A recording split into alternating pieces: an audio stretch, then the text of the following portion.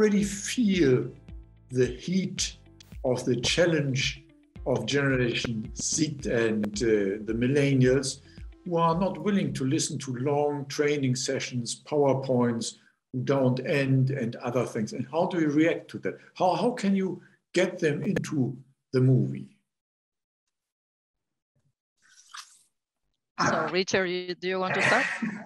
it's hard when you when you thank you, Alejandro, when you're when you're leading a group that's responsible for a program supporting 40,000 uh, employees. Of course, it's hard to meet every employee where they want to be in terms of learning.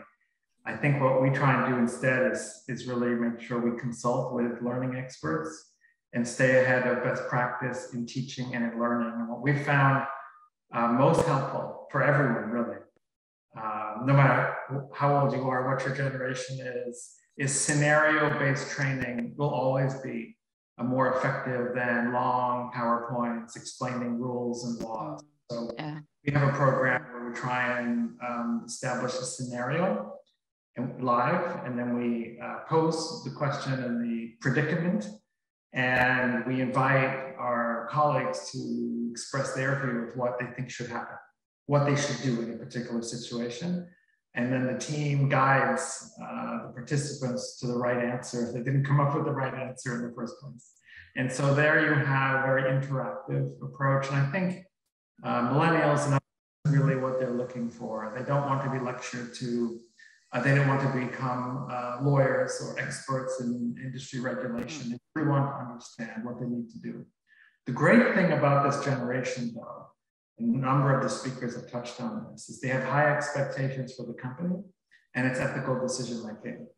And as a result of that, in a way, they're easier to reach because they're already willing and able to accept the message that um, what they do, what we do uh, as leaders and as individuals matters a lot uh, to the reputation of the company. And if the company's ever going to take an E&C program and have it be seen as important as ESG, as important as all the other um, key uh, um, challenges and opportunities that come with the broader corporate purpose and, and the stakeholder interest that we see today, the company has to have a strong ethics and compliance environment and culture.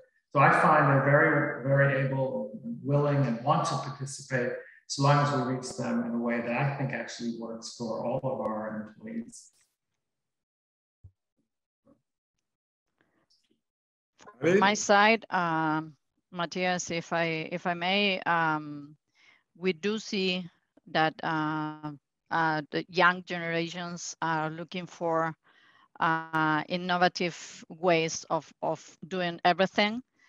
So and uh, they need to they need us to go direct to the to the point and uh, to to do the specific um, information that they need to know. Uh, and uh, let me add that uh, we also see, and it's not uh, something new, that uh, they are more interested in uh, something sustainable. They are looking at the reputation of the companies while they are yeah, planning their path pathways in, in their career. So uh, we have to to look at them. They will be running companies uh, in the near future. So um, we need to to be innovative and uh, yeah, adapt ourselves to to to that next generations.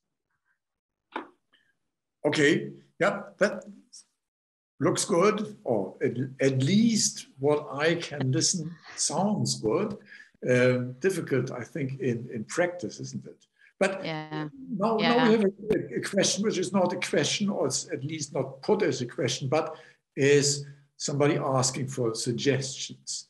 Um, somebody who has to prepare a training for anti-money money laundering, yeah, which is one of the most interesting, entertaining, and funny things on earth. And uh, she's asking, how to be creative on that. Any suggestions? well, Richard. From my side, no. no, uh, I think that um, it's uh, yeah, I agree. It's a, a boring topic um, and uh, based on laws and regulations. So I think that the most creative thing that I'm I'm, I'm thinking about is um, bringing cases um, uh, to be very practice uh, and uh, be uh, like brief and uh, go direct uh, to the point. Again not yeah explaining line by line the law but yeah um, transforming the requirements in in a storytelling right that this is a, a very fashion a way of training people so through storytelling, uh, it's uh, I think it's a, a, better way of explaining boring laws. And I'm yeah, I'm not a lawyer, of course, right? so.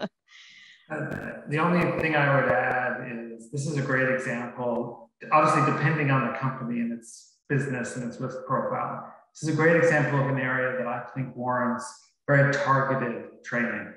And I think, uh, so for example, the finance department or the legal department uh, on this issue need to be trained and they, they should accept that there will be some boring parts of that training.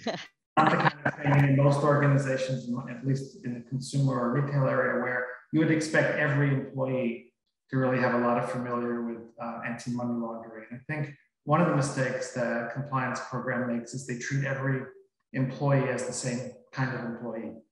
And yeah. so mm-hmm. equally important, I think, for the effectiveness of the program and whether we say to be successful or to avoid failures. In the end, it doesn't matter. You've got to make sure that the employees that have special roles where they touch on key internal controls like anti-money laundering really understand what they need to do their jobs and to be effective and to follow company policy.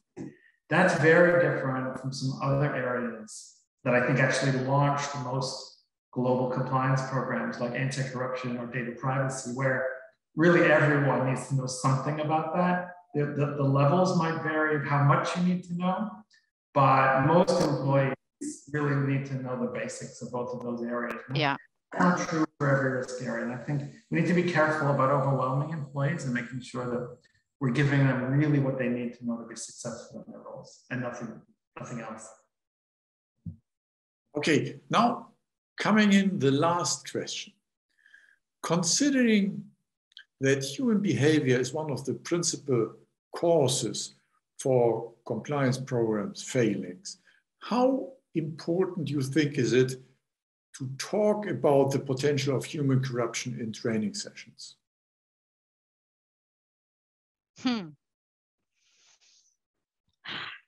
So I have my style that uh, I I I like to start uh, uh, from the consequences uh, to have uh, corrective corruptive uh, corruptive sorry behaviors and the consequences not only for the company but only and also but also for them so um, this is one thing. The other thing that uh, I like, but uh, to be honest, I didn't start, is uh, working uh, in about incentive instead of sanctions. Um, this is something that uh, it would be really useful, uh, but um, I don't have experience with that. Um, so yeah, it's it's not easy because uh, you have to influence them somehow and uh, we are not psychologists right so we uh, we need to be creative be supported uh, maybe sometimes uh, by other areas uh, to think about that behavioral compliance I believe there's a place for for it, and I know uh, we certainly do have um, preferences in our presentations about fines and penalties, and, and I think on some level you need that. However, uh, I think it's a little bit uh, old-fashioned to overemphasize yeah. penalties and investigations and all these terrible things that could happen. I think if you just listen to today's discussion, it's going to be much more effective, more powerful, more memorable if it's a more positive uh, message of if you want your company to have a strong corporate purpose and to really serve all of its stakeholders properly, your customers, um, your vendor, your third parties, the communities in which we live. If you really want a company like that, you need to follow the rules, and here are the rules. So it's a more positive, I think, more in the moment message to say, we all we think, but here's how to do it, and here's how the E&C program can affect whether or not this company truly stands for more than just the bottom line. And that's really, I think, where business is going. Allison started that discussion earlier today, but to then just have training that, that hammers people with all so wrong, uh, I don't think is really the message from the day. Okay, thank you so much to both of you. I think your your insights, your practical you. insights, were very important for, for all of us because we learned again a lot.